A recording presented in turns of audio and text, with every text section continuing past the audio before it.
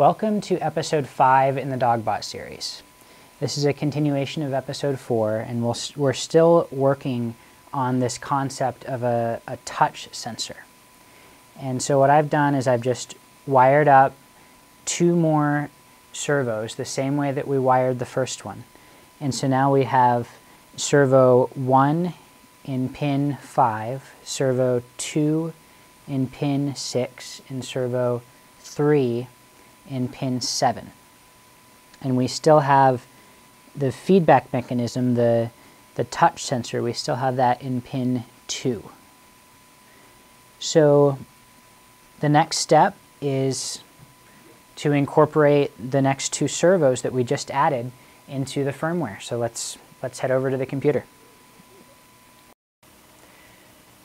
Okay, so this is the example that we used on the last episode.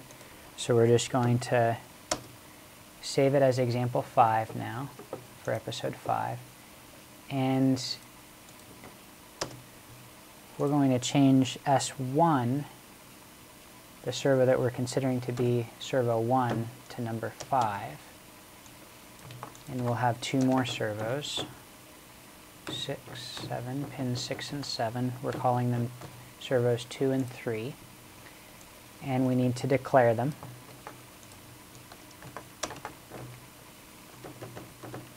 servo 2 and servo 3. They're all output. And now let's let's incorporate them. Um, let's go trial by error for now. But just to keep it readable, let's say int uh, int delay.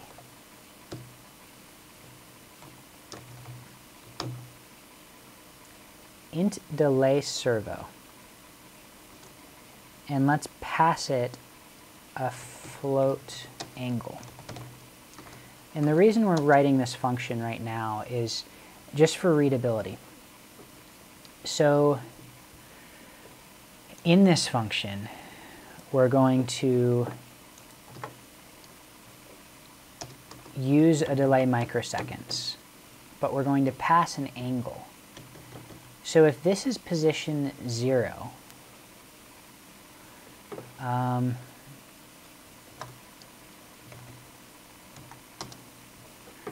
we're going to need a calculator for this. So if, if this is position 0, if 600 degrees is position 0, and 2500 degrees is position 180. 2500 microseconds is position 180 degrees. If that's the case, then to figure out what this equation should be from angle to delay, why don't we take 2500 microseconds minus 600 microseconds. So we have 1900 microseconds, and now let's just divide that by 180 degrees.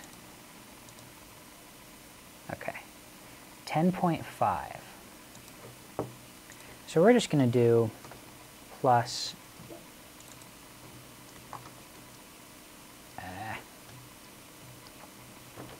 plus angle times 10.5.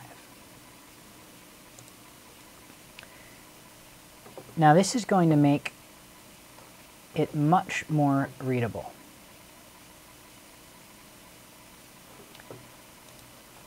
And just to take it a step further,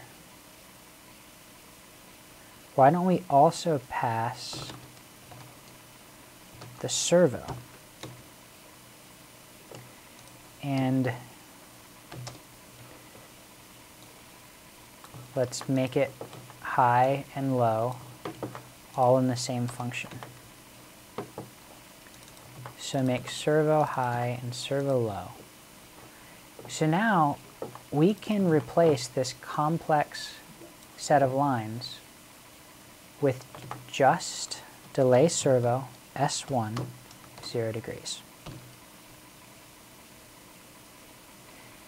And it makes it much more readable when we start saying delay servo 2 0 degrees, delay servo 3 0 degrees.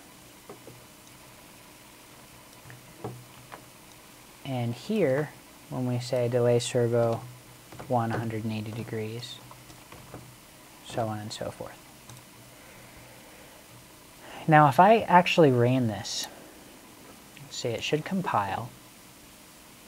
Okay, but if I actually ran this, it's going to be telling all servos to go from 0 degrees to 180 degrees. And that's a pretty that's a pretty risky thing to just go off and do. So I'm going to take this one step at a time. I'm going to comment out servos 1 and 2 and just have servo 3 go for now.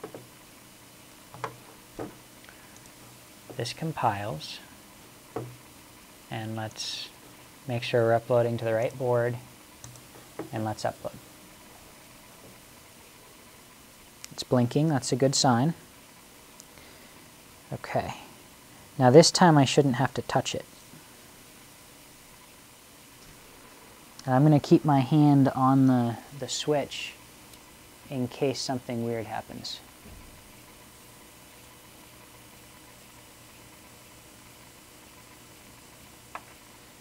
Nothing happens. Why does nothing happen?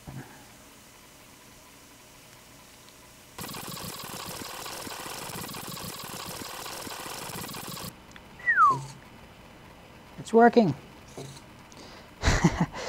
okay, so I'm, I'm now using a backup power supply because uh, my power supply failed, but this one's working. So we now have just what we're calling servo 3. We have it going from 0 to 180 degrees with an interrupt for the, the touch sensor. So it's very similar to the setup we had last time. But I want to um, I want to play with just this one servo a little bit more. I don't think we should have it go from 0 to 180 degrees. I think we should be a little bit more specific. So let me turn this off for now.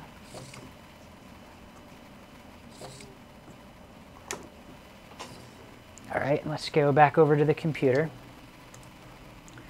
We no longer need the loop because we know it works. There we go. And let's be a little bit more specific. Let's say, let's say 90 degrees and upload that.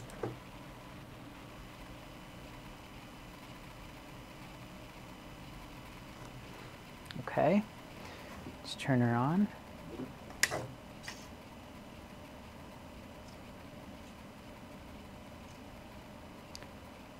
Interesting. So 90 degrees is is too far. Let's go let's go 170 or 1 150. Let's go 150.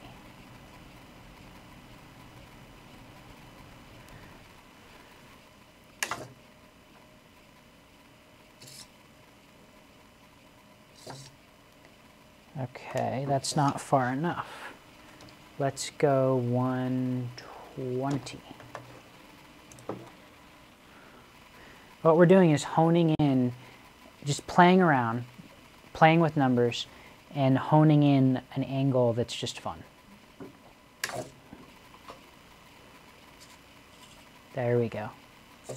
So this is 120 degrees for this servo.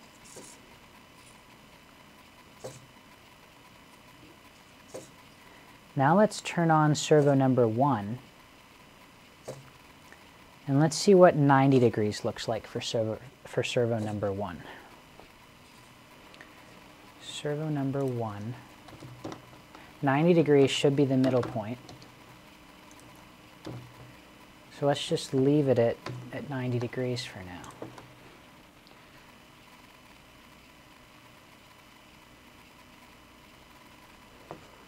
See how that worked. There we go. Hotness. Wow. That's pretty cool. Now let's vary 90 degrees. Let's vary servo number one from 90 degrees to say, let's go with 120.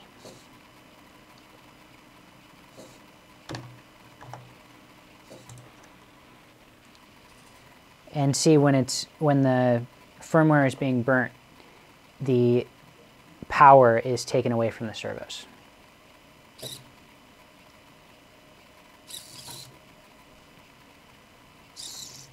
Now that's a dangerous, that's a dangerous loop. Uh, let's try the other way around. Let's go from 90 to 120 degrees.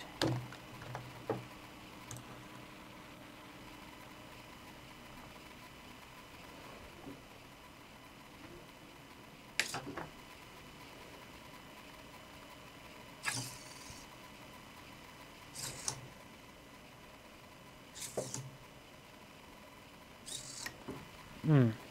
Pulled a wire. Pulled a wire. Let's try again.